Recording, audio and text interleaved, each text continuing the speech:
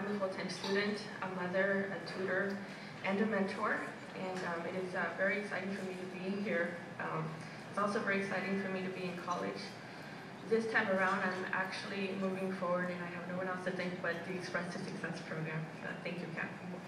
Um, I found this program when I was homeless, um, living in a warehouse with my family, which is my son.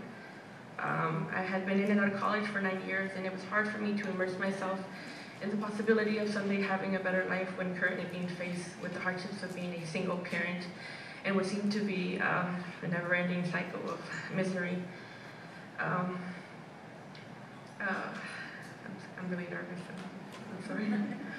I was especially uh, discouraged because I was behind in English and in math, and this made my two-year stay at any community college into a four-year experience that I knew I could not commit to, let alone afford. um, today I'm uh, transferring. I'm in the transferring process.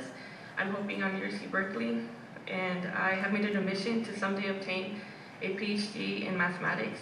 And uh, thanks to support I found through the ESP program that offered free books, uh, brilliant professors, gateway tutors, students that have previously, uh, previously been in the program, and the opportunity to take two courses in one, saving me a semester, I now have Esperanza.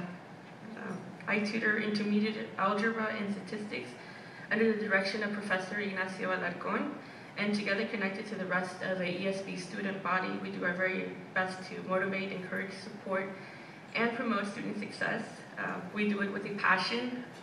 I personally recommend the ESP program to any student with everything in me, and uh, very much so uh, hope to see more programs like it throughout the country um, for the sake of mi gente.